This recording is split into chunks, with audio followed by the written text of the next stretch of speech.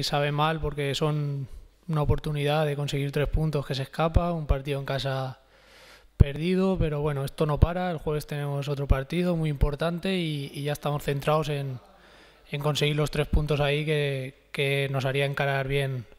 la liguilla. Bueno, siempre le das, vueltas, sobre todo cuando, no consigues ganar, le das todavía más vueltas de lo que podía haber sido, pero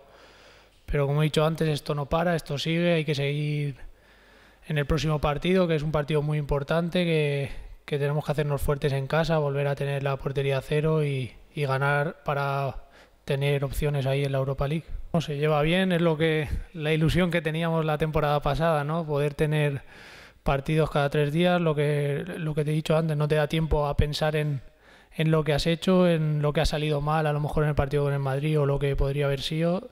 y te da pie a que cada tres días tienes otro partido, otra otra otra final, otro momento para ganar y, es lo que hay que hacer. De no conseguir la victoria, bueno, se puede dar una situación ya de que cada partido sea una final, entonces lo que hay que hacer es ganar el, el partido, ponernos en una buena situación y, y conseguir los puntos en casa, que es lo que tenemos que hacer cada partido. Ganar el siguiente partido y luego si los últimos pueden ser ya con la clasificación hecha, mejor, porque luego llegar a, a, a los últimos partidos jugándote la cara o cruz puede salir cruz.